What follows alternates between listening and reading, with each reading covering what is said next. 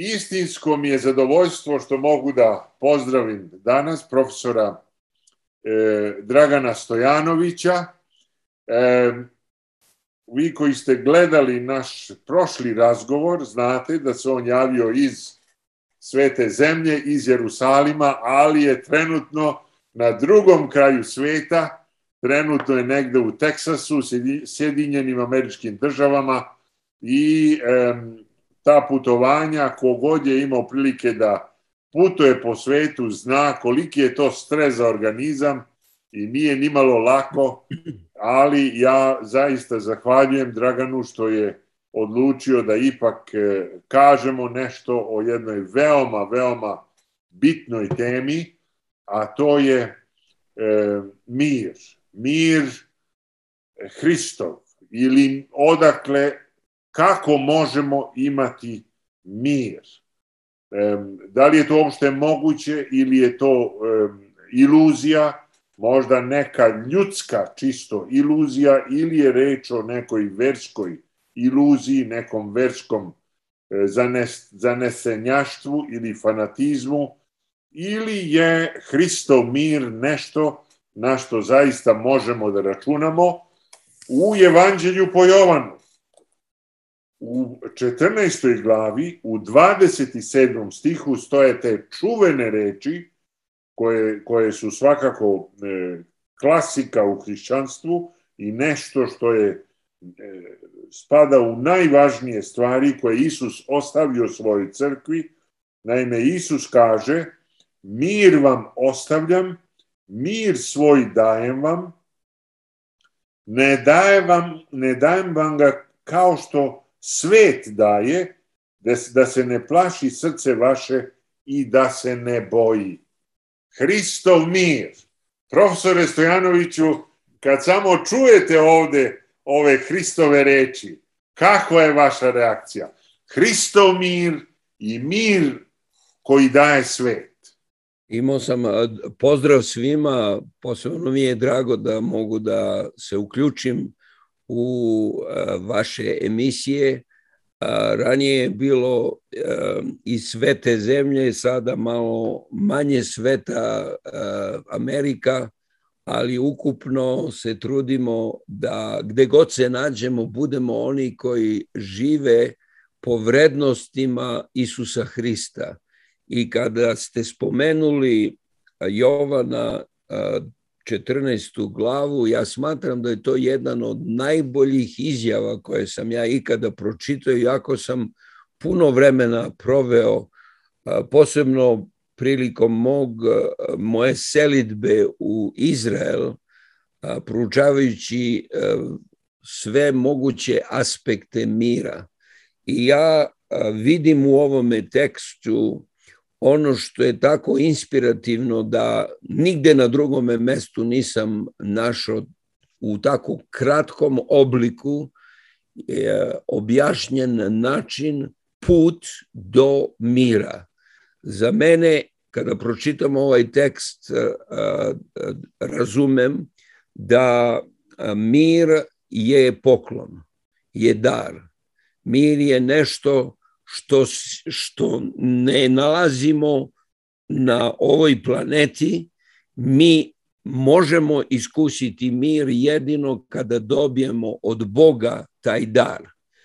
A, interesantno je da u ovome tekstu se spominju dva različita mira.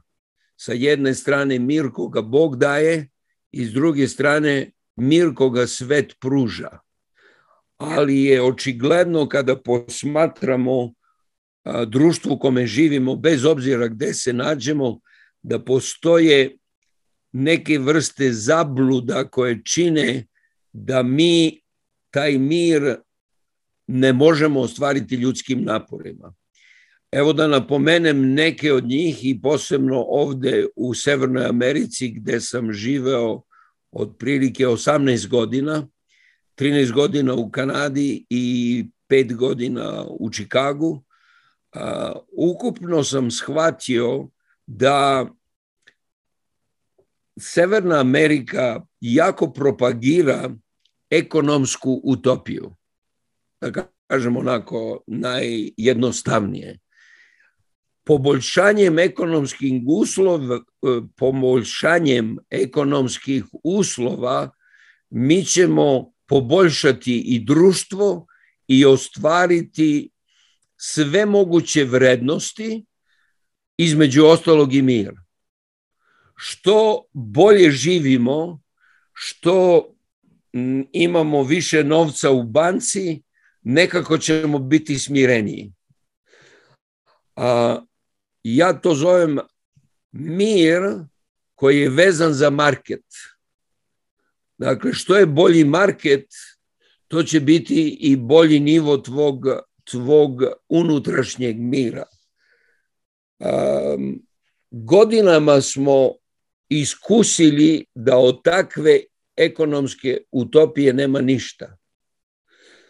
Dakle, vi možete da radite, kako bismo mi rekli, od ujutru do naveče. Ja sam imao prilike jednom da se sastajem sa jednom osobom u Parizu koja je toliko puno radila da jednostavno želeli smo zajedno da proučavamo Bibliju i mogli smo to da ostvarimo jedino u 11.30 na veče svake srede.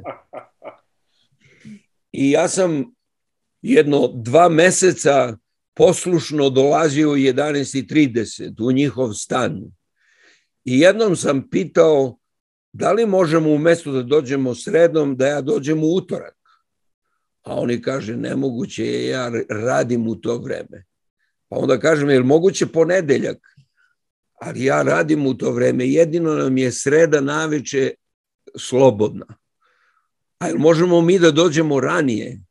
Kaže, ja radim do 10 naveče, tako da je jedino moguće jedino moguće, ako vam to odgovara, dok mi stignemo kući u pola 12, to je najbolje vreme. I tako smo i nastavili. Ja onda postajem njemu pitanje, kažite vi meni, um, a zašto vi toliko radite? I on kaže onako, uh, kako da kažem, spontano, zato je kriv moj komšija. Ja kažem, pa kako je moguće da komšija vas obavezuje da tako radite?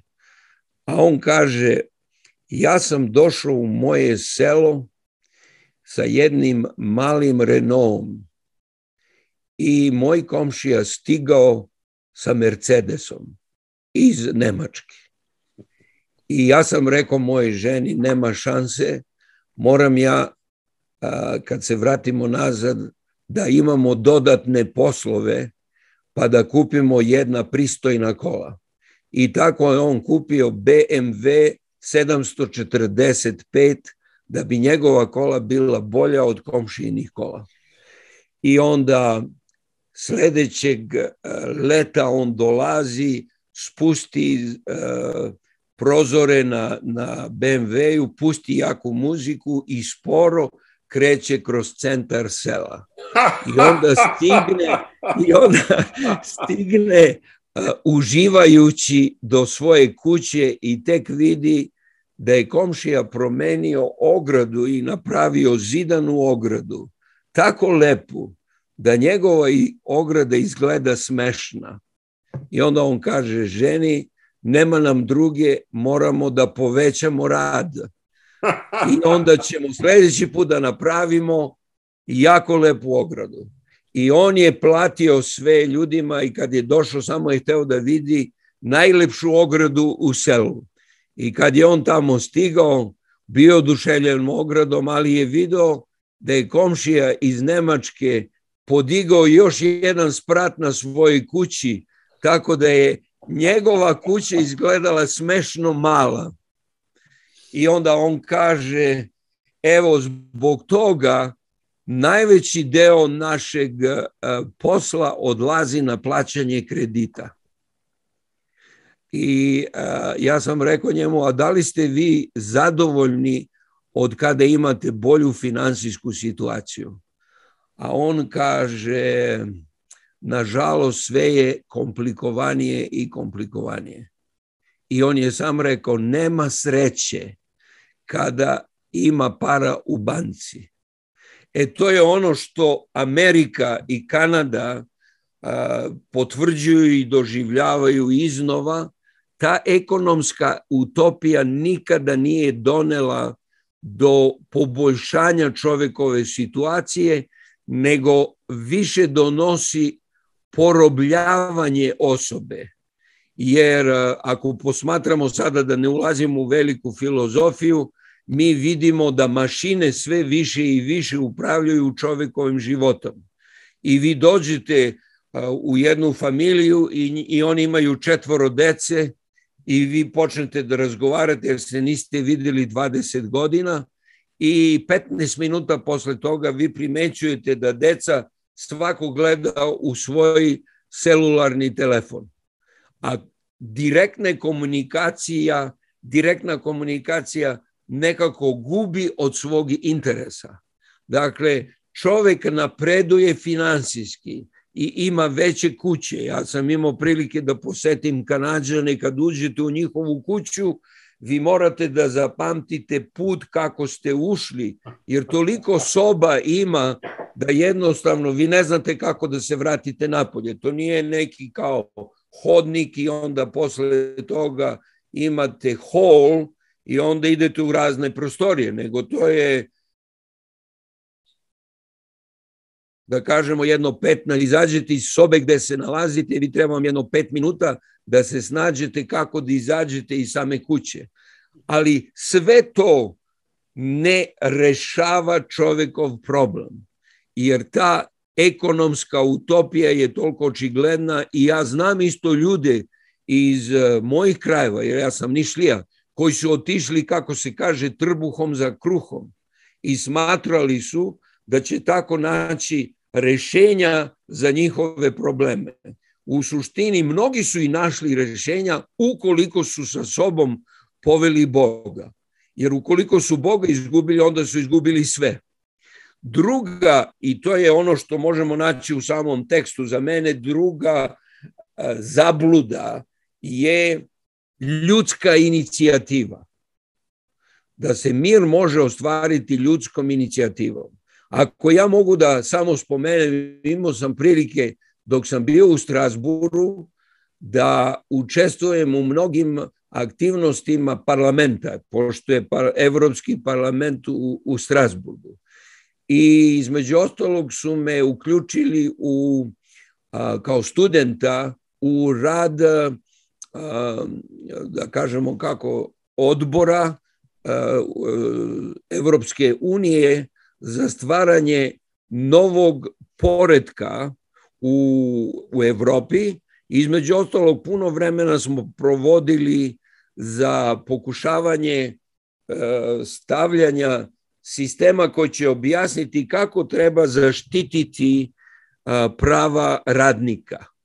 I to je bilo jako interesantno jer je tu bilo uključeno puno diskusije sa filozofima, specijalistima iz etike, ali sam došao do zaključka da iako je, e, ako čitate, ako odete na web stranicu Evropske unije, zaključit ćete da neki od tih radova koje smo mi još onda radili su vrlo propagirani. Između ostalog se spominju osam, osam stubova za mir u svetu.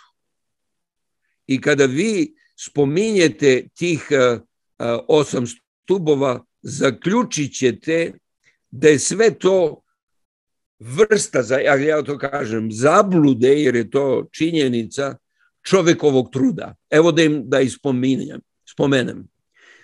Ako želimo mir, to kaže Evropska unija, moramo imati dobro funkcionirajuće vlade, onih koji upravljaju, leadership. I sami razumete kako je teško to ostvariti. Druga stvar, jer oni koji dođu na vlast, prvo se jako, jako, jako bore da dođu na vlast, a onda se užasno jako bore da ostanu na vlasti.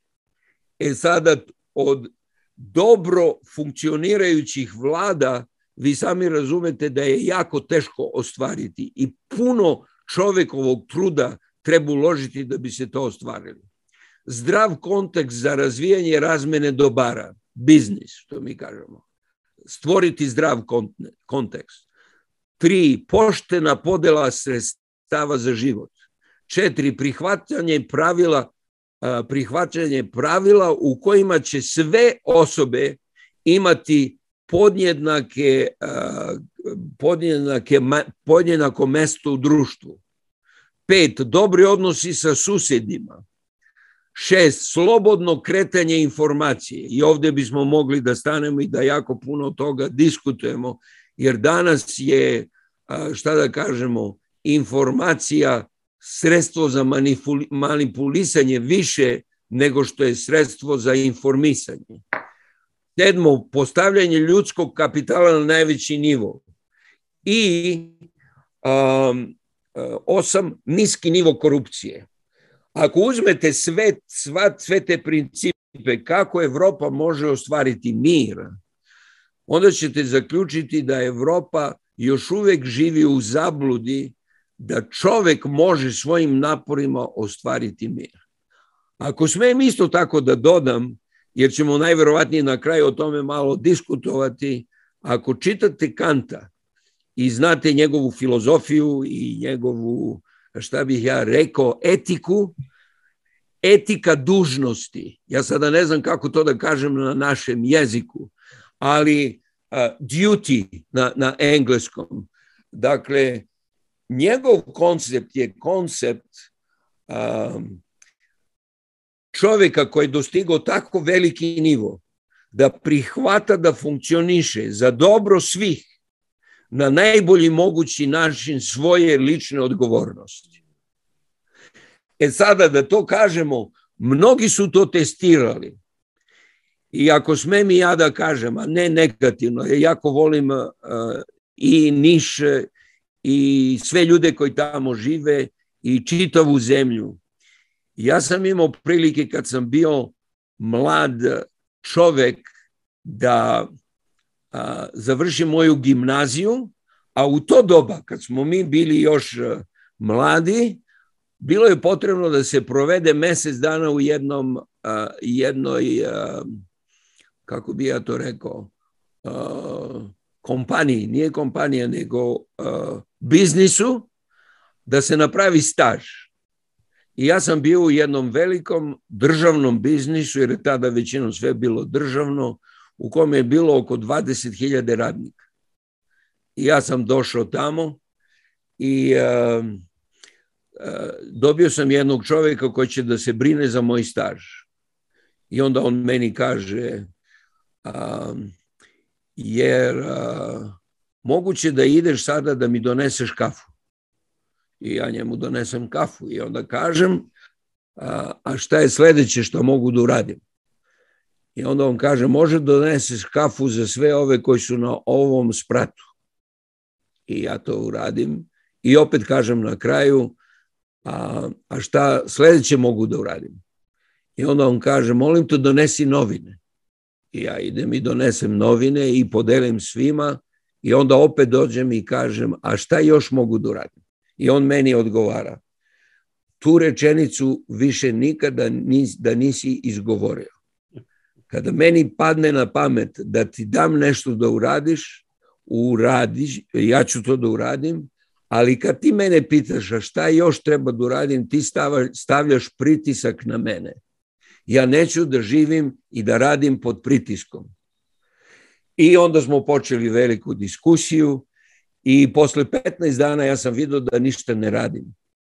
I onda ja njega bez veze pitam, a kako ću ja da napišem izveštaj za ovaj moj staž koga sam preveo, proveo a, mesec dana u vašoj firmi? A on kaže, nemoj mene da pitaš, ima jedna sekretarica koja će da napiše izveštaj za tebe, jer ona već zna kako taj izveštaj treba da bude formulisan. I ja njega pitam, ali ja bih želeo stvarno nešto da naučim iz ovoga. A on kaže, evo da ti kažem jednu stvar koju treba da naučiš. Ovo društvo nas tako malo plaća da nas ne plaćaju dovoljno čak ni da dođemo na posao, a kamo li da radimo. Dakle, kada oni odluče da nas bolje plate, mi ćemo početi da radimo. I sada vi razumete, kada imate takvo društvo, onda nema ništa od onoga što je Emanuel Kant sanjao i razmišljao. Jer uh, dužnost kao motor, pokretač čovekovih aktivnosti je moguć samo kada je čovek na visokoj svesti stigne do jednog nivoa da razume da smisao njegovog postojanja je, između ostalog što ja kažem kao vernik, da Boga ljubim svim srcem svojim i svom dušom svojom i svom snagom svojom i onda bližnjega kao samog sebe. I znam da ne mogu da ljubim bližnjega kao samog sebe ako izbacim iz mog života Boga. Nema nikakve šanse da ja mogu da tretiram drugoga na istom nivou kao mene ukoliko sam bez Boga, jer je onda jedina stvar koja mi ostaje, a to je da posmatram život iz perspektive šta je najbolje za mene, a ne šta je najbolje i za mene i za društvo i dugoročno i sve ono što je očigledno a, za dobrobit čovečanstva. Kao što je i rekao a, Kant, ono što mene jako puno impresionira, ja ne znam tačno kako da ga provedem, je, prevedem, on kaže da posmatram a, zvezdano nebo i sklad, funkcionisanje svih, svega onoga što se nalazi u svemiru i zakon, moralni zakon, red, sklad u meni u mom srcu i u mom biću. Eto, to je od prilike ono što bismo mi mogli da kažemo vezano za tu drugu zabludu, jer smo rekli da je prva zabluda bila utopija. Utopija ekonomskog napretka, a od tog napretka vidimo da ne dobijemo sve ono što nam je potrebno i posebno gubimo sve više i više mir. Kako biste, kako biste onda definisali taj mir koji sve daje u nekoliko rečenica? Svet daje prividni mir. Svet daje prividni mir koji dobijete recimo sanjajući da ćete kada dobijete diplomu, da kažem mastera ili doktora, stići do jednog nivoa unutrašnje stabilnosti, prosperiteta i tako dalje. I onda će posle toga vam dati posao, naći ćete posao i smatrat ćete da kada dobijete tu ekonomsku sigurnost, da ćete ipak ostvariti unutrašnji mir i da ćete poboljšati svoje uslove i upošćete u zabludu ekonomske utopije, što bismo mi rekli. I onda ćete napredovati u društvu i dobit ćete bolje mesto i imat ćete više uticaja. I kada prođe čitav vaš život, vi ćete zaključiti da ste uvek čekali nešto ali ako posmatrate Bibliju, to je just, uh, u potpunosti suprotno. Na primer, kada kaže, uh, kada kaže Psalam 23. Ako čitate na jevrejskom jeziku, to je jako očigledno. Mi kažemo na našem tekstu da dobrota i milost tvoja pratit će me u sve dane života svojega, mojega. Ja ću nastavati u domu Božjem za dugo. Originalni tekst kaže da, sreća, sreća, potpuno, kako bismo rekli, um, uh, stanje unutrašnjeg mira, šalom, to je onako kako bismo mogli da kažemo. Sreća i hesed će me pratiti ne i trčaću za njim, nego će one biti kao posledica činjenice da ja hodam sa mojim Bogom. Jer u prethodnim tekstovima tog istog psalma se kaže kada pođem i dolinom sena smrtnoga neću se bojati zla jer si ti sa mnom štap tvoj i palica tvoja teše me. To je upravo isto ono što je Isus ovde rekao, da se ne plaši srce vaše i da se ne boji. Kada čovek hoda sa Bogom, on uopšte um, nema straha u, u, u svom srcu jer je prihvaćen, jer je voljen. I zato i kaže i Biblija, uh, prva Jovanova poslanica, prava ljubav izgoni strah napolje. E sada, ja kažem, sve je to prividan mir koga ovaj svet može da da. I na kraju kad pođete čitav život, ja sam imao prilike jednom da budem na, u bolnici na samrtničkoj postelji jedne osobe koji je mene a, tako zbunio, mogu reći, koji je jednostavno prošao svoj život a, sanjajući da je a, moguće pronaći taj mir i na kraju je rekao a, Dragane, mogu ti reći da sam ja prazan. Mogu ti reći da sam uzeledno proveo sve ove godine. Ja sam ostvario toliko biznisa, tako sam bio aktivan, ali sam video da mira u duši nemam. E, a, on je rekao na, na engleskom ono što ne voli niko da čuje I am a nobody. Ja sam niko. Imam, imam četvoro dece. Niko sa mnom ne razgovara. Svi smo bili, što on kaže, biznis orijentisani. I svako od moje dece ima svoj biznis. I nažalost sad sam ja došao u doba da odlazim za ovog sveta i ja ne ulazim u njihovu biznis šemu više. Nisam interesantan. I oni nemaju vremena za mene. I sve što sam investirao, sve je uzaludno. Eto, to je otprilike što ja hoću da kažem. Jer pre ili kasnije čovek dođe do trenutka kada se pojavlja ona provalija i gde nemaš dalje i ne možeš svojim trudom, trudom ništa da učiniš i ne znaš šta će biti posle kad se završi ovaj život. I onda vidiš da ti je ostalo jako malo vremena i pokušavaš da rezimiraš sav tvoj trud i zaključiš da tvoj trud nema nikakvog značenja za prevazilazenje te velike provalije između ovog sveta i onoga što dolazi posle toga, jer ti nemaš nikakav odgovor.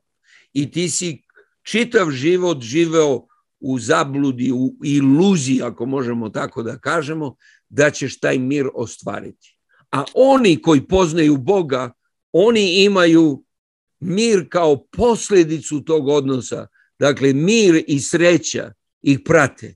To je samo stiže, ne juriš mir, ne trčiš za, za spokojstvom u srcu, nego jednostavno dobiješ ga kao poklon. Jer, jer mogu tu, dakle, vi insistirate na tome da je mir Hristov dar. Dar. dar. Po, koji da. ne može da se... Jer možete da tu više malo objasnite ljudima. Praktično, neko, Evo, ko, ja bude, sam... neko ko bude slušao ovaj razgovor, da. Da. šta to Evo da... praktično znači? Ako on Evo... neko kaže, pa ja hoću da imam taj mir, kako da dođe do tog mira? Tog mira. Evo da vam kažem ovako, ja živim u zemlji, dakle u Izraelu, gde se svaki dan kaže, kad sretnete čoveka, vi njemu kažete šalom. Dakle, a, mi kažemo zdravo, pozdrav, dobar dan i tako dalje. U Izraelu svako vam kaže mir. Dakle, to je reč, to je pozdrav. To je stvar koji Izraelci najviše cene ako mogu tako da kažem, a najmanje imaju. To je živa realnost. Ako odete na arapsku stranu, dakle Jerusalim imate, ja živim u Jerusalimu, moja žena radi u istočnom Jerusalimu, tamo su muslimani ili da kažem a, arapski muslimani i oni vam isto tako kažu pozdrav, mir na arapskom. Dakle, i njihov cilj je mir, a mira nema. E sada, i ako ima jedna zemlja gde je mir totalno u, kako da kažem, fragile, to bi bilo onako a, a, lomljiv, a, gde mir jako teško ostvariti, je upravo Izrael. Ja imam osjećaj da smo mi tamo, iako, iako se osjećam sigurno i bezbedno, imam osjećaj da smo mi na nekom buretu baruta koji može da eksplodira u bilo kom trenutku. I taj osjećaj nisam imao u nijednoj drugoj zemlji gde sam živo. Kad sam bio u Švajcarskoj, u Austriji, u Francuskoj, u Sjedinjenim američkim državama, Kanadi, taj osjećaj nisam uopšte imao. Ja imam samo neki put osjećaj, šetam se i vidim ljudi koji, ljude koji se raspravljaju, policija koja interveniše. I ja imam samo osjećaj da će u jednom određenom trenutku da bude da bude kako da kažemo, klaš, da će da, da počne konflikt. I imam osjećaj da i taj konflikt će kako da kažemo to, opet izvinjavam se, nedostaje mi reči, biti, biti sve, sve jači i jači, da će se plamen, vatra zapaliti, da će sve to otići. Jer je očigledno da ljudskim umom ne postoji jedno rešenje. Šta, ja sam razmišljao, koja treba biti moja poruka kada dođem tamo? Jer šta da kažem ljudima koji svaki dan vam kažu mir, a u suštini ono što im najviše nedostaje to je mir.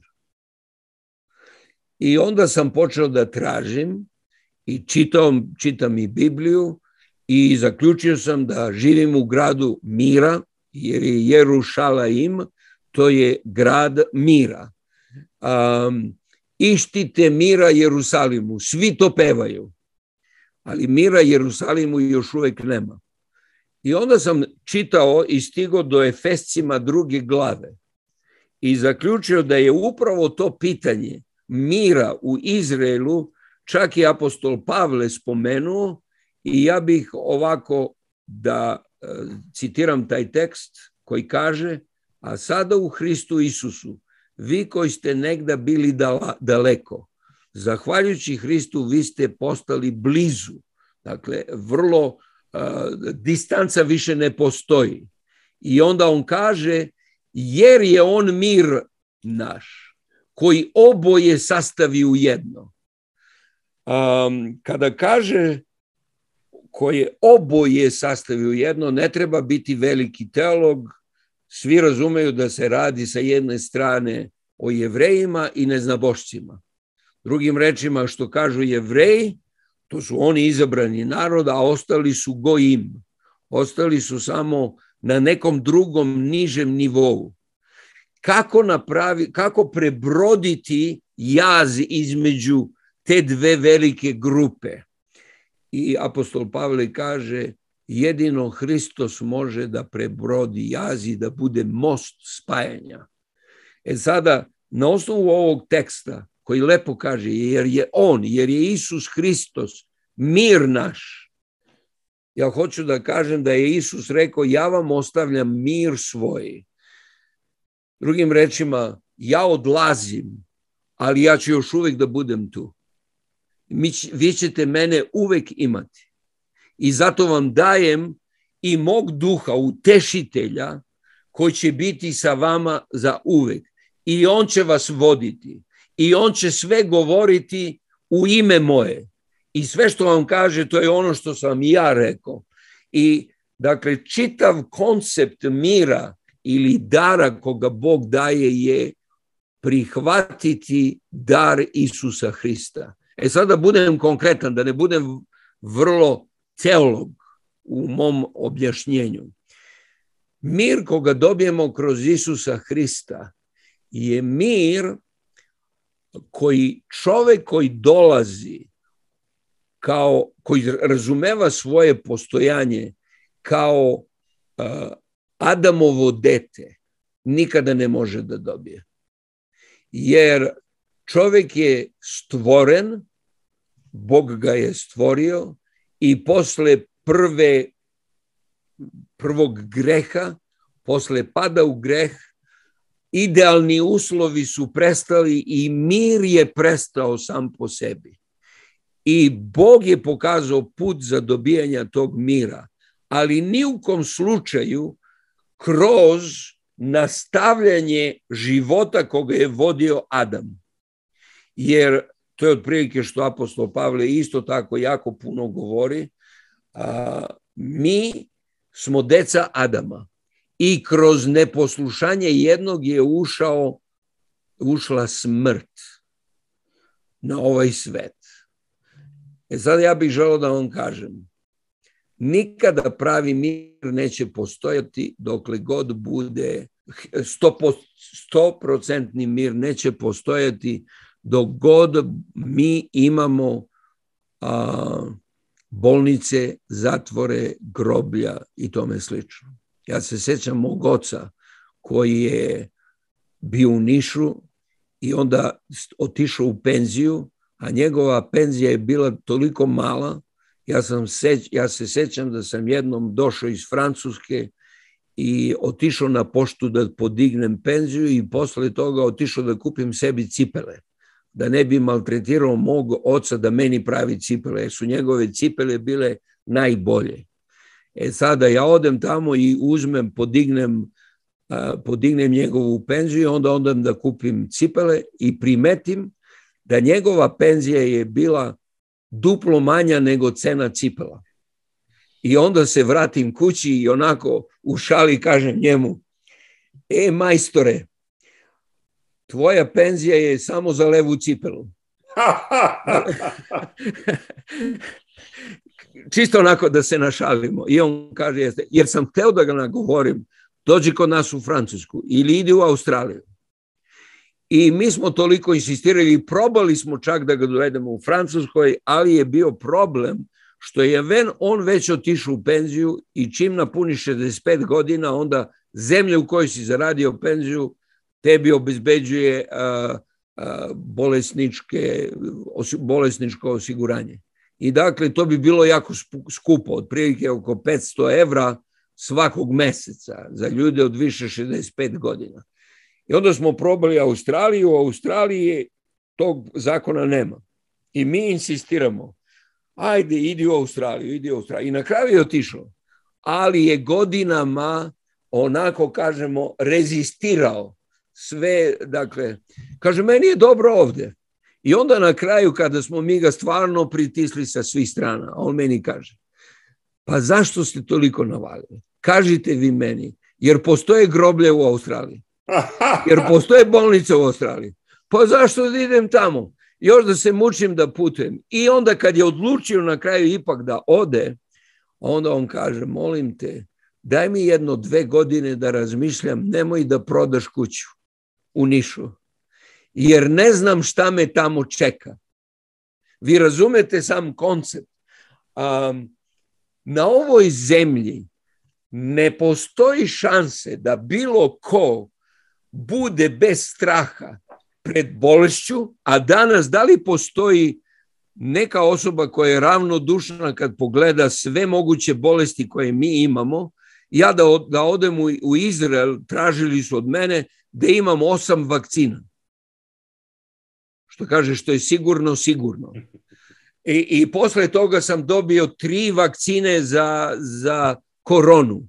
Sada pričam šta ćemo da radimo neki uh, monkey pox, ajde, ne, ne znam mi kako se to već kaže na našem jeziku, uh, kriza je svugde i čovek je tako destabilizovan jer ne zna kako će da prebrodi te velike krize.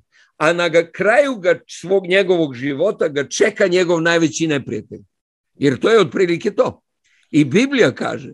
Hvala vam, hvala vam za ovu iskrenost, ovo je jako važno što, što ste sada kazali. A ipak, ja ću sada izvršiti određeni pritisak i ići dalje. Da. I reći ću, ako Isus kaže mir svoj ostavljao, znači da hrišćani ipak e, e, imaju neku vrstu sigurnosti koju drugi ljudi nemaju. Evo da čitam, recimo, vi znate da ovde u Srbiji jako je važna joga, hinduizam, i tako dalje, gde ljudi rade određene vežbe ili gde pokušavaju da očiste svoju unutrašnjost ponavljanjem man, različitih mantri ili recimo imate u tao, taoizam kineska, to je sekularna religija, ali ipak i oni se trude da idu kroz neku vrstu pročišćenja i da upoznaju neku inteligenciju realnosti koja je utkana duboko i, tako, i zato rade vežbe, taj či i tako dalje. Dakle, različite religije različito pristupaju. E sada, u Filipljanima postanici, u četvrtoj glavi, a e, znamo da je Pavlo ovo pisao iz, iz rimskog zatvora i on kaže radujte se, to je četvrta glava četvrti stih, radujte se svakda u gospodu i opet velim radujte se, krotos vaša da bude poznata svim ljudima. I onda šesti stih kaže gospod je blizu, ne brinite se ni za što, nego u svemu molitvom i moljenjem. Mol, dve re, reči koje su sinonimno, e, neki teolozi smatraju da je reč o molitvama koje su javne molitve u crkvi i lične molitve, nego molitvom i moljenjem sa zahvaljivanjem da se javljaju Bogu ishanja, ishanja vaša. I mir Boži, koji prevazilazi svaki um, da sačuva srca vaša i misli vaše u gospodu Isusu. I onda neki teolozi smatraju da ovde Pavle je pod utjecajem grčke filozofije, jer koristi neki metod o kome je još govorio Seneka, koji se zove Bona Cogitare, gde kaže, to je metod u stvari čisto racionalni metod, da, da misli zamenite tako što nećete misliti ni o čemu negativnom, nego ćete pokušati kao i u hinduizmu da to zamenite i zato Pavle kaže što je god istinito, što je god pošteno, što je pravedno, što je prečisto, što je slavno, to mislite. E sada, čisto o tom metodu, znači ljudi, da li hrišćani ipak imaju neki metod, neki način da ba, bar malo bolje e, e, imaju neki mir od drugih ljudi. Ali još uvek vam zahvaljujem za opasku koju ste malo pre dali, jer je ona toliko istinita. Ja.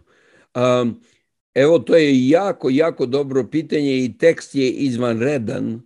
Filipljanima četvrta glava me je jako puno inspirisala dok sam radio u Izraelu isto. Evo da kažem moje lično mišljenje. Prva stvar, radio sam na Strasburgu stari zavet, kako mi to kažemo, a usput sam imao i obaveze da četiri godine studiram komparativnu religiju.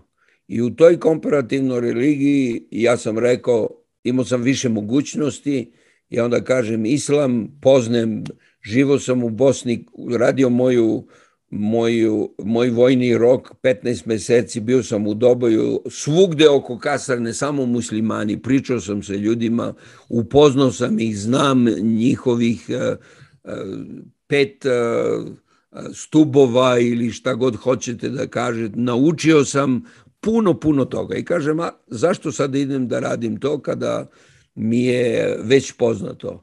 I prihvatio sam budizam i četiri godine sam radio budizam. I prve godine je bilo... U Strasburu, pričate o Strasburu. U Strasburu, u Strasburu. I prve godine profesor nas je odveo u jedan manastir, ako bismo mi to mogli tako da kažemo, budistički koji je baš pored Strasburga, u okolini Strasburga i najveći u Francuskoj. I tu sam imao prilike da slušam predavanja čitav dan, dakle, i um, u isto vreme da postavljamo pitanja.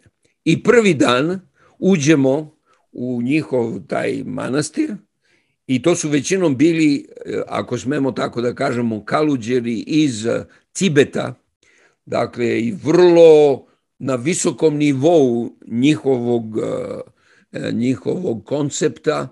I ja vidim čim sam ušao unutra, mi smo prošli kroz jednu prostoriju i ušli u drugu gde je bila naša učionica – Sa desne i sa leve strane su bili ljudi, kaluđeri koji su gledali u zid i bili otprilike jedno 15 cm od tog zida u lotusovom položaju i gledali zid. I uh, mi smo ušli u 8 ujutru. U 12 izvraćamo se nazad na ručak, dakle da izađemo iz prostorije. Ja vidim da su ovi svi drugi otišli, a jedan kaluđer je još uvek gleda zid. I onda posle toga u dva se vratimo i u pet je završeno. I u pet je još uvek kaluđer bio pred zidom. Sutra dan, taj isti kaluđer je bio tu. I to je bio ponedjeljak, utorak, sreda i četvrtak. U petak ujutru ja vidim njega, on sedi za stolom i ja priđem i pitam ga da li biste mogli da mi objasnite, jako cenim što sam imao priliku, što imam priliku da razgovaram sa vama i vrlo sam impresioniran sa onim što ste vi uradili. I a, želo bi da znam a, kako to radite i zašto to radite. Mm. I onda on počeo veliku priču. I onda on kaže, jako bitna je stvar, ja kada sam pred zidom, ja samo mislim na vrh mog nosa, a to je napredak veliki da se dostigne dotle. I onda kad ja razmišljam o vrhu mog nosa, sve je koncentrisano na to da sve ostale misli jednostavno nestanu.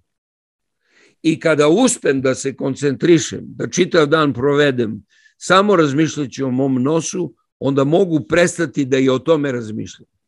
Dakle, tako je njegovo objašnjenje bilo. Ja kažem, a zašto vam je to potrebno? On kaže, ja sam u potrazi za mirom. Dakle, to je bio njegov stav. I sve ostalo, da ne bi bio predugačak, ja sam razumeo da i on isto bio u kategoriji onih koji traže mir njihovim naporom. I dakle, budizam je za mene disciplina, iako je sam Buda rekao da disciplina ne vodi do nirvane. Disciplina potrebna. I ja bih želao da upotrebim taj isti izraz u hrišćanstvu. Vaša disciplina može da bude korisna, jer uvek je korisno da vi imate kontrolu nad samim sobom. Kao što kažu čak i duhovni rodovi su uzdržanje na kraju. Ljubav, radost, mir, trpljenje i uzdržanje. To je sve jako lepo. Ali ono što je nama potrebno je baš suprotno od onoga što svet radi. Mi smatramo kada radimo jednu izvesnu disciplinu, rezultat će biti mir. Ali ovde se kaže prvo mir, prvo počneš sa mirom i onda sve ostalo dođe. I taj mir, kako se kaže ovde, i mir koji prevazilazi svaki um, sačuvaće srca vaša i misli vaše.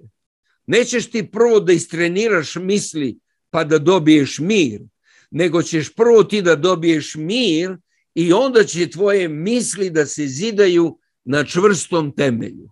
Eto, to je otprilike ono što za mene ovaj tekst, tekst kaže.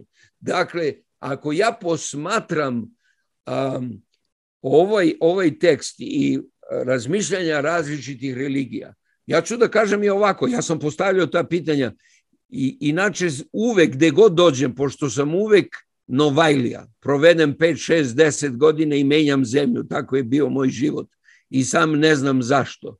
U početku svi vam praštaju kad postavljate pitanja. I ja sam eto tako stalno postavljao pitanje. Ja pitam muslimane u Jerusalimu, u istočnom Jerusalimu, šta to znači islam? I onda o meni pričaju. I oni kažu, islam znači dve stvari. S jedne strane pokoravati se Bogu. Submission, kako mi to kažemo na engleskom. Pokoravati se Bogu.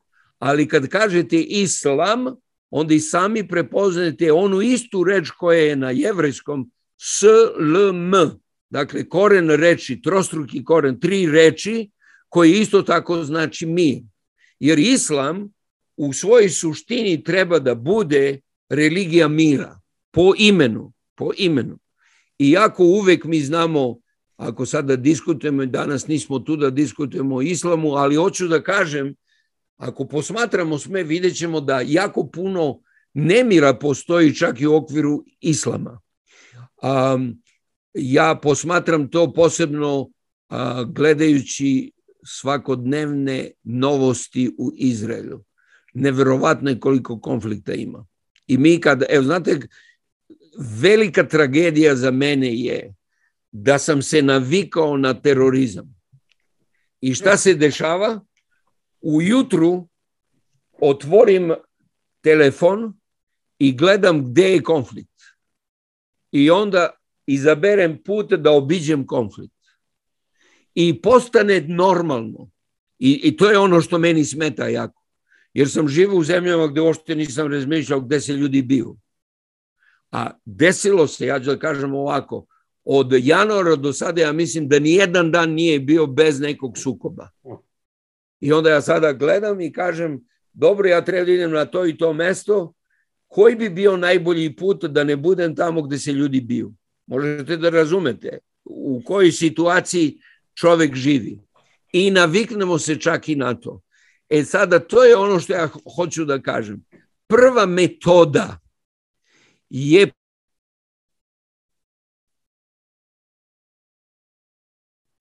onda mu se otvaraju vrata za rast. Jer bez tog, jer kaže se, Isus Hristos je naš mir, ali prva Korinčanjima, prva glava, 30 i 31 stih kaže da je Isus Hristos i naša pravda, i naše posvećenje, i naše spasenje, on je sve za nas. Mi kroz njega dobijamo sve što nam je potrebno da prevaziđemo sve probleme, čak i onaj, onu poslednju provaliju, to jest provaliju smrti, poslednjeg neprijatelja, probe, pobeđujemo kroz Isusa Hrista. I dakle, za mene je a, ovaj tekst a, najbolje objašnjenje metode. Metoda je pomiriti se s Bogom kroz Isusa Hrista. I onda ćemo, kada dobijemo mir, jednostavno imati misli koje će biti vezane za superiorni nivo duhov, duhovnosti, ako tako mogu da kažem. Jer sve ostalo će biti trud koji ne vodi nigde. Kakvu ulogu tu imaju molitve, zahvaljivanje, javne, lične? I taj, taj prvi, prvi korak o kome govorite. Znači, taj, taj prvi korak pomirenje s Bogom, a ovo sve drugo onda sledi. Ovo sve drugo sledi. Evo ovako, za mene je molitva razgovor sa živim Bogom. Za mene je prava molitva molitva osobe ko, koja poznaje Boga. Pre toga, pre upoznavanje Boga, molitva je samo vapaj za upoznanjem Boga. Zašto to govorim? Jer je Isus rekao, ovako molite se vi. I onda je rekao, oče naš koji si na nebesima. Dakle, on je rekao, prava molitva počinje kada ti shvatiš da imaš Boga na nebu koji je tvoj otac. Tek od tada se moliš. Dotle ti tražiš. Ti si, uh, ti si onaj koji, i to je potpuno plemenito, ja bih rekao to je jedna od najplemenitijih uh, aktivnosti biti u potrazi za Bogom. Ali to je samo vapa i ljudskog srca da pronađe smisao. Prava molitva i moljenje počinju kada je čovek već pronašao Boga.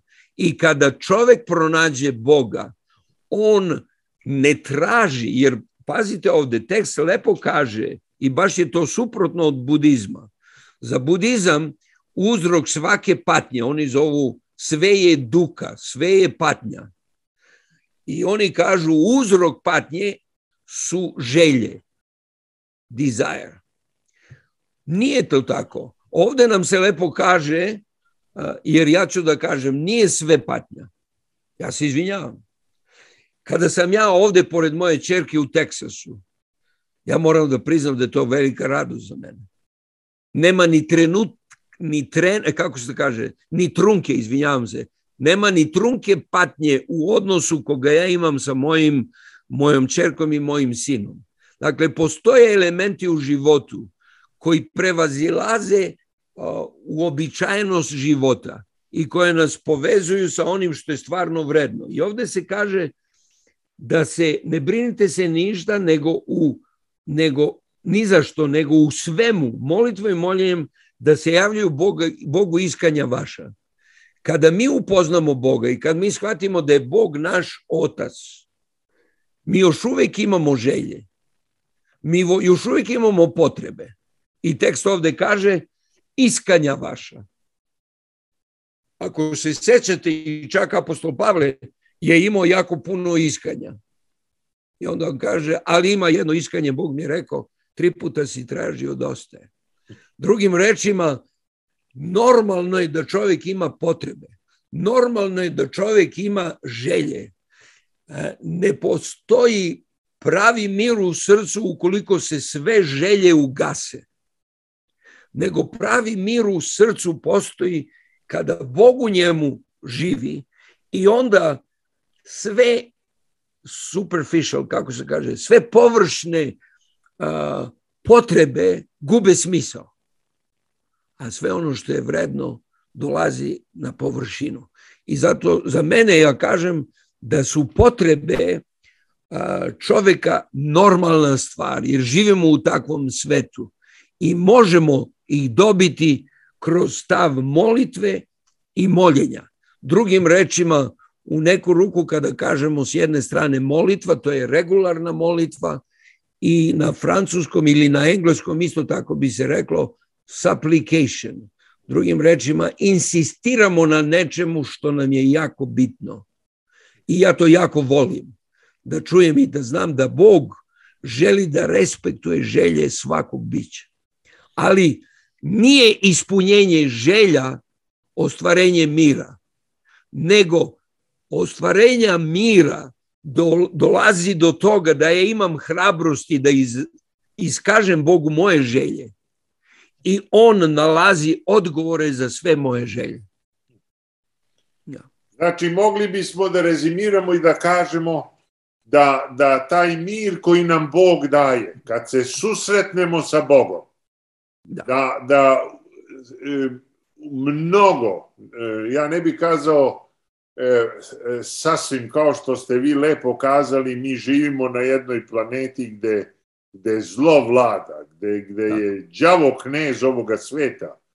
I mi ne možemo očekivati apsolutni mir, ali hrišćani se drugačije su, su, suočavaju sa bolešću, sa smrću, sa problemima.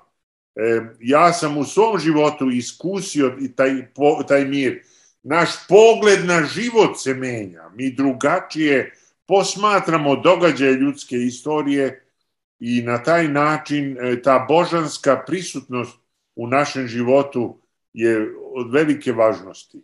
Tako je. Evo, evo da navedem čisto jedan primer. Bio sam u Francuskoj u Alzasu i obiđem jednu ženu koja je teško bila bolesna, ali je, nažalost, pošto je organizam jak, srce jako, doktor je rekao još će to dugo da traje. A ona je bila u nesnosnim bolovima. I samo su joj dali neke lekove da smiraju te bolove, nisu uspeli da smire. I onda ja dođem i posetim nje i kažem, i ne znam šta da kažem, jer je to tolika patnja. U jednom određenom trenutku pričam, ona dobije te bolove i ona iz kreveta, onako slaba, stara žena, iskoči iz kreveta i samo se, kako da kažemo, kreće po podu, jer su bolovi užasni. I onda se smiri i onda se ponovo vrati u krevet. I ja pokušam da je pomognem jednom i dva puta, vidim da to nastavlja. I ja pitam nju, a ne znam šta da kažem u suštini, ja pitam, a kako uspevate? A ona kaže, kad je počela bolest, ja sam samo jednu stvar pitala. Bože, daj mi tvoj mir, jer ovo je teška bolest. Ja sama ne mogu da izdržim. Ako mi mir ne daš, uzmi moj život. I on kaže, evo već dve godine se mučim, a još uvek je moje srco, srce ispunjeno pravim, fantastičnim mirom. E sada ja to kažem, to govorim, ja ne, ja, ja ne govorim o miru kao verskoj zabludi, jer ima jako puno onih koji nude zablude. I e, činjenica je da ima tako puno verskih zajednica, a jako malo mira. I ako posmatrate, ajde da kažemo, 2000 godine istorije, većina ratova je bila vođena u ime Boga. Većina ratova. Većina katastrofa. Ali ja govorim o pojedinačnom iskustvu mira, a taj mir menja sve. I zato kažem, ja sam se molio za tu ženu kad sam je ostavljao ja sam rekao, Bože, molim te, daj mi taj isti mir. Jer toga ja nemam kao što ona ima. Da budem u tako strašnim bolovima, da još uvek mogu spokojstvo da imam u mome srcu. Zašto? Zato što je ona iskusila da je gospod blizu. I kada je gospod blizu, ti znaš da postoji zlo, ali ne zadugo. To je otprilike Augustin rekao, postoji zlo, to je činjenica, ali zlo neće postojati zadugo. I to je moja nada i sigurnost i to je ono što potvrđuje da mi možemo koračati kroz ovaj život ispunjeni mirom u srcu koji prevazilazi svaki um. Ja mogu gotovo da kažem, ja ne znam sve da vam objasnim, jer je to neobjašnjivo.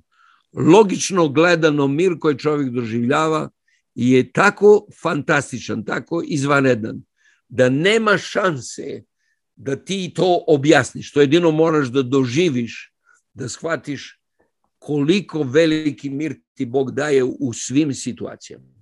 Još jedno na kraju pitanje, profesore Stojanoviću, ovaj rat u Ukrajini i, i ja. E, stalno spominjanje mogućeg nuklearnog rata i trećeg da. svetskog rata. Da. I, i izazvao je čitavu pandemiju e, psihičkih bolesti kod ljudi. E, nemir je poprimio neverovatne dimenzije i, i ljudi ne mogu da izdrže više tu napetost. Tako je. Šta biste poručili ljudima koji će ovo da gledaju? Jako dobro pitanje. Nisam nešto specijalno spremio kao odgovor na to pitanje, nego ako spontano odgovaram. Sve zavisi kakav, kakva je vaša filozofija života. Ja sam prihvatio da Bog postoji i da je taj Bog Bog ljubavi. I sama Biblija kaže gospod, gospod ne čini ništa, što znači ama baš ništa, bez da javi slugama svojim prorocima šta će biti u napredak. Dakle, to je vrlo interesantna teološka izjava, da Bog zna budućnost.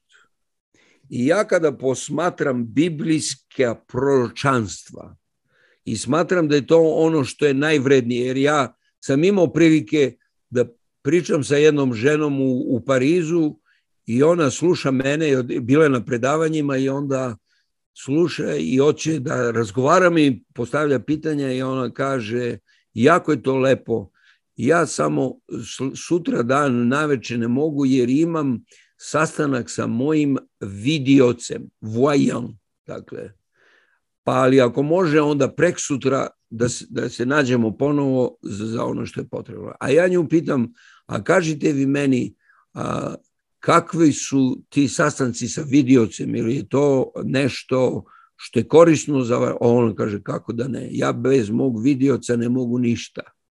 A kažem kako vam on donosi mir? Pa on kaže on stavi karte i gleda i otvara i čita mi budućnost. I uh, ja onako zbunjen sam bio da neko tako, znaš, ranije da kažeš imam psihologa, ok, ili imam svog zubara, ili imam ne znam ja šta, nekoga uh, bankara. To je bilo normalno u inostranstvu da kažete. Ali da vam neko kaže, moram prvo da konsultujem mog videoca, pa ću onda da vam kažem, to je bilo nešto začuđujuće.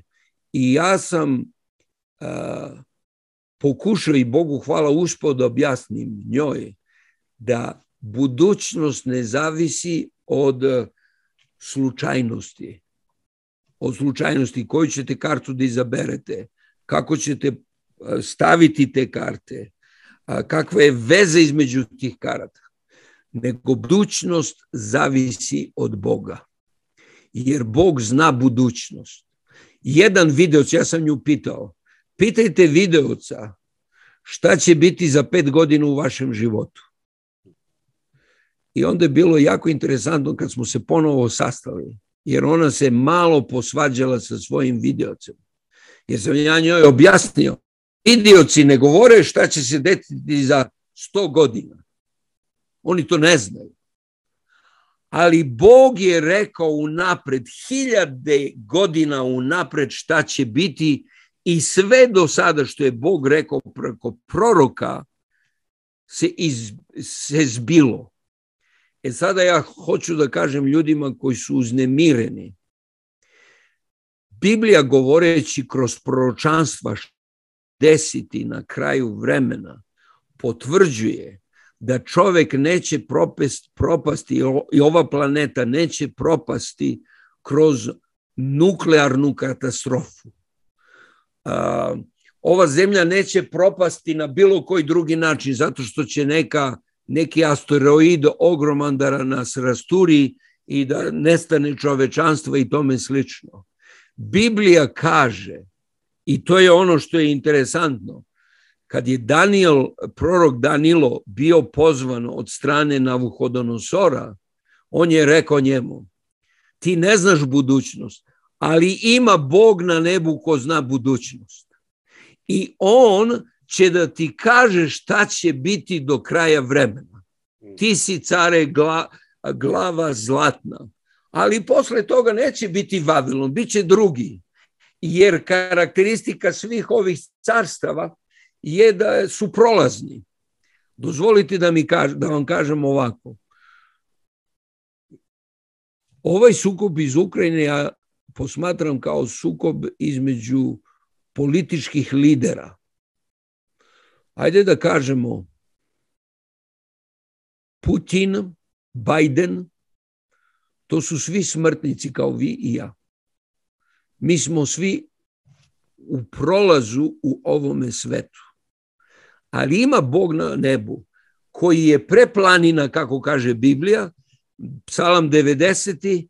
pre nego se gore rodiše, od veka i do veka. Dakle, od, od veka, što se kaže, u večnosti kada posmatraš u prošlosti i u večnosti kada posmatraš u budućnosti, Bog je uvek Bog. Dakle, šta možemo da kažemo? Ljudi su odlučili, ja sada ne, ja volim i, i Ukrajince, i Ruse, i Amerikance, i sve ostalo. Samo hoću da kažem ljudima, Joe Biden i Putin i svi ostali jezelinski su samo smrtnici kao vi i ja i njihovo ponašanje ne određuje našu budućnost. Naša budućnost je zapisana u rukama našeg nebeskog oca i on će sve privesti kraju onako kao što je rekao. Zato potpuno razumemo kada Isus kaže čućete o, glas, o ratovima i glasovima o ratovima, ali znajte to nije kraj. Postoji božanska vizija budućnosti koja ne dozvoljava smrtnim ljudima da imaju zadnju reč. Da navedem samo jedan primer. Napoleon. Stigo je e, slavni Napoleon i do Rusije. I čuvena Čajkovsko, Čajkovski je pisao onu čuvenu njegovu simfoniju 1812. Jedna od fantastičnih muzičkih dela. Napoleon u Rusiji mislite da je nepobediv i onda dođe Waterloo i vidite da se Waterloo nije dobio na nekoj velikoj nadmoćnosti, nego da su sitni elementi učinili da velika francuska sila jednostavno ne uspe da ostvari svoje, svoje ciljeve. I tako je Napoleon jednostavno nesto sa svetske pozornice. Ljudi nemaju zadnju reč. Bog je obećao mir i mir je za sve one koji ukazuju poverenje u njega. Zato i mi kažemo, ja se sećam apostola Pavla koji je došao kod cara Agripe i priča o njemu i objašnjava čitavu istoriju konflikta i onda kaže, Felix njemu kaže, znaš, ti si malo poludeo. Ne od toga ništa. Stvarno, previše si knjiga čitao i onda si izgubio razum. A on zna da car Agripa njega sluša. I on objasni ponovo car, caru Agripi sve što je mislio i onda kaže njemu, care Agripa, ja znam da ti jako dobro znaš moje učenje. I ja dobro znam da ti veruješ prorocima. I tako je on rekao. Veruješ li prorocima čuveni care Agripa, časni care Agripa? I ja znam da veruješ. Ako hoćete da čitate Bibliju, onda morate da znate da nemojte da verujete vašem prvi, prvom ministru, premijeru, nemojte da... Oni su dobri, molite se za njih, ali oni nisu vaše rešenje. Vi ćete biti najbolji građanin zemlje u kojoj se nalazite kada imate mir u srcu. Dok mira nema, nema ničega i vi ste samo u krizi i krizne osobe stvaraju krizne situacije. Ali kada vi upoznate Boga i dobijete na poklon mir, sve ostalo će doći, sve kocki će se, se skupiti i vidjet ćete da za jedno 15-20 godina nećemo više čuti ni za Zelinskog, niti za Bajdena, niti za bilo koju osobu. Ja ne, ne govorim protiv nikoga ni u korist nikoga. Ja samo hoću da kažem, ima Bog na nebu koji vodi ovu planetu i ništa se neće desiti. Kaže, zaista, zaista kažem, jer Bog ne čini ništa, ništa, bez da obavesti svoje proroke. Sada ili ćete slušati CNN, ili ćete čitati, biblijska proročanstva. A ako čitate CNN, vaš pritisak će da raste. A ja vam predlažem da čitate Bibliju i sve će da dođe na svoje mesto i vidjet ćete da Bog ima zadnju reč. Profesore Stojanoviću, beskrajno vam hvala. Sa puno zadovoljstva. Bilo mi je drago da razgovaramo i pozdravljam sve one koji su nas slušali ili će nas slušati. Ti saveti za mene, to što ste sada kazali, nema cenu, zaista prelepo i pre... Bogu prijatno Bogu. i doviđenja. Sve najbolje.